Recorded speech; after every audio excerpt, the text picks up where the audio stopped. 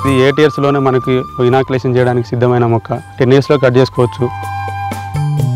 సమ్మర్లో కాకుండా మిగతా వాతావరణాలన్నీ కూడా మనకు అనుకూలమే. అగర్వుడ్ కలప నుంచి మనకి రెజిన్ ఉత్పత్తి అవుతుంది. కత్తర్లో కానీ కాస్మెటిక్స్లో కానీ ఈ అగర్వుడ్ని యూజ్ చేస్తున్నారు. ఇతర ఇతర ప్లాంటేషన్ అంటే జామ మామిడి వాటితో పాటు ఈ అగర్వుడ్ కూడా వేస్తే మంచి రిజల్ట్ వచ్చే అవకాశం. క్వాలిటీని బట్టి మనకి వుడ్ వచ్చే అవకాశం ఉంది. అది మార్కెట్ ధర లక్షన్నర వరకు కూడా కేజీ ధర ఉంది.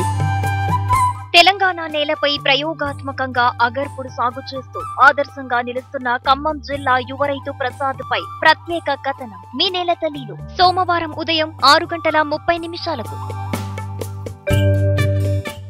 ఈ కార్యక్రమాన్ని మీకు సమర్పిస్తున్న వారు బయోఫ్యాక్టర్ వారి జీవం అత్యుత్తమ జీవన ఎరువుల సమాహారం.